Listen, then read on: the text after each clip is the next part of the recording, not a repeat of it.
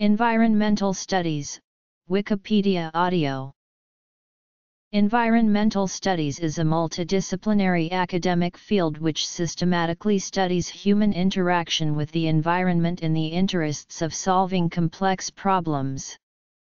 Environmental studies brings together the principles of the physical sciences, commerce/economics and social sciences so as to solve contemporary environmental problems.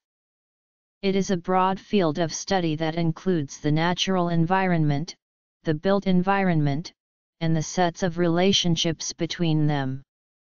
The field encompasses study in basic principles of ecology and environmental science, as well as associated subjects such as ethics, geography, anthropology, policy, politics, law, economics, philosophy, sociology, and social justice, planning, pollution control and natural resource management.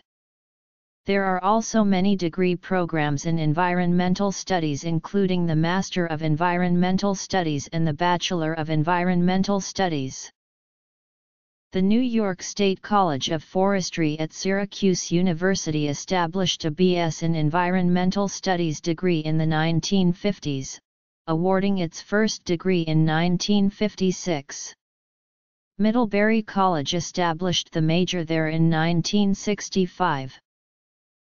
The Environmental Studies Association of Canada was established in 1993 to further research and teaching activities in areas related to environmental studies in Canada.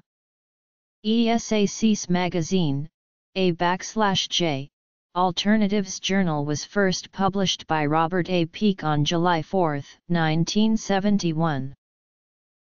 History the Association for Environmental Studies and Sciences was founded in 2008 as the first professional association in the interdisciplinary field of environmental studies in the United States. In 2010, the National Council for Science and the Environment agreed to advise and support the association.